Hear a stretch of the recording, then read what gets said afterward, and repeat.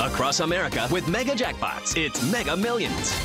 Hello, America. I'm John Crow. It is Tuesday, August 27th, and tonight's Mega Millions jackpot is an estimated annuitized $103 million. To win that jackpot, you must match these five white balls plus that gold mega ball. Now, let's see if I can make you a millionaire tonight. Our first winning number tonight is 8. That's followed by 39. Up next, we have 43. Your next number is 12, and your final white ball for this Tuesday evening is 23. Now for the mega ball number, that is 0.